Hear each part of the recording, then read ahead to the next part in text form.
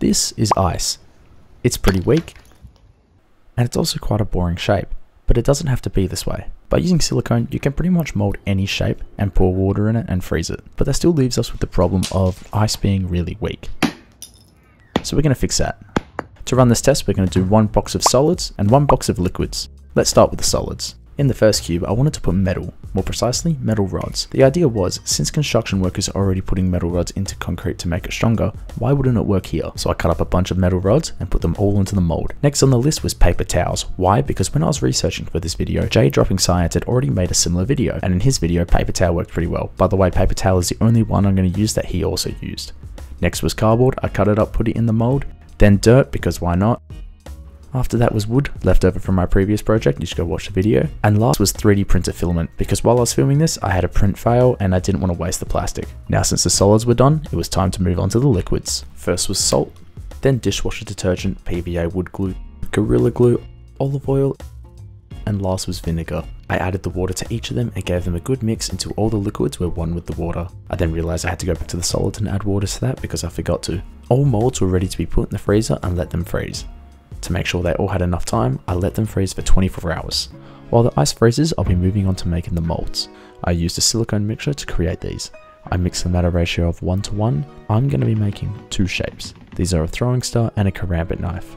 I won't actually be putting these into the mixture, afraid that the sharp edge would cut the silicone as I try to remove them later. Luckily, I had practice versions of both of these, so I put it in the mixture. Once they were in, I had to let them set for another 24 hours and we can move back to the ice. The ice had enough time to fully cure and we could test it. The salt water didn't freeze and that's because I forgot that salt water doesn't freeze. The rest, they had all frozen. The oil had separated from the water and was kind of soft though. To test these, I'm going to put them on the ground and use a hammer, starting with the vinegar and it felt weaker than normal ice. Next was olive oil. This one was stronger, but not strong enough. As for the dishwasher detergent, I had high hopes for this one, but it didn't live up to my expectations. The Gorilla Glue also fell apart pretty easily, I think that's because it didn't mix well with the water. And last for the liquids was PVA glue. I was not expecting this one to do well, but it held up really well, I was surprised. This one worked, so I'll definitely be using it later on. Anyways, to the solids.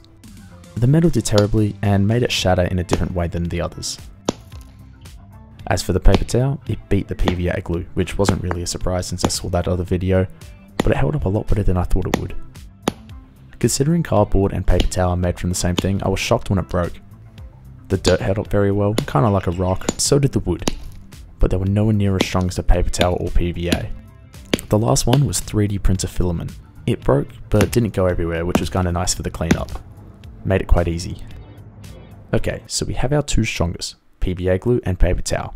The Karambit knife ice came out perfect.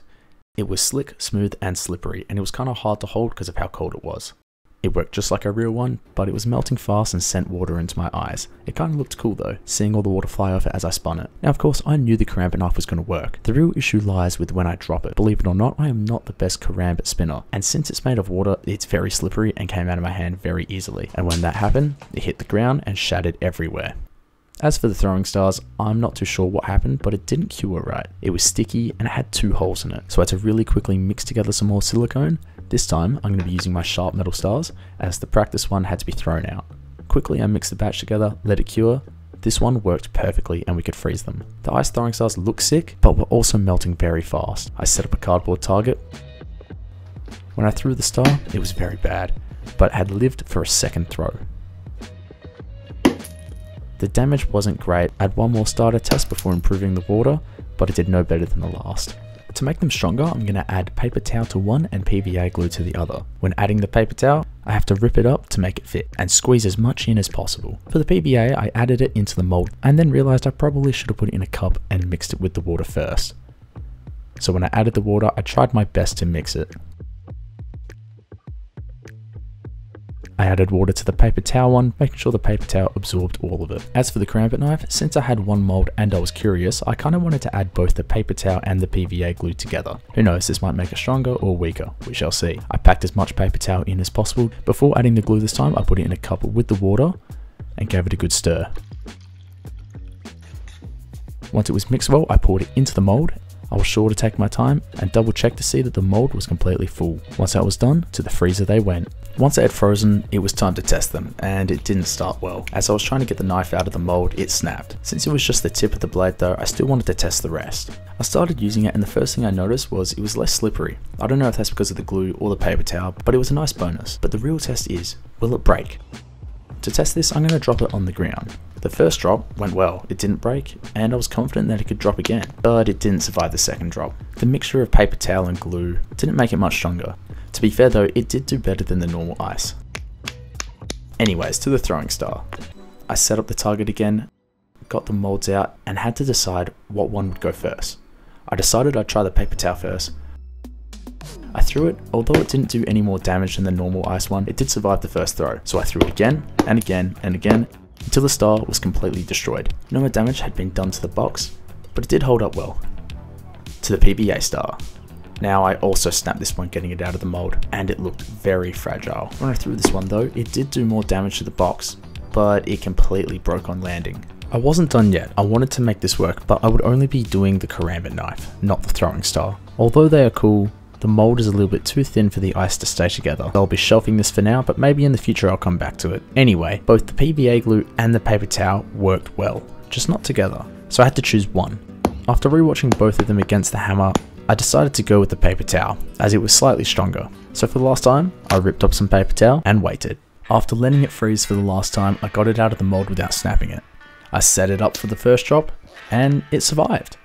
Not a scratch on it so I wanted to drop it again, but this time it broke. This was a real kick in the shin. I don't think a karambit knife made out of ice would actually work, or a throwing star. Maybe if I used a different shape or a different material, I'd be able to make something work. If you guys have any ideas of how I can make ice stronger, let me know in the comments below. Also, if you like this video, leave a like and subscribe. In the time of filming this video, it hit 1000 and 2000 subscribers. So a big thank you to all of you. I hope you enjoyed the video, I'll see you next time and thanks for watching.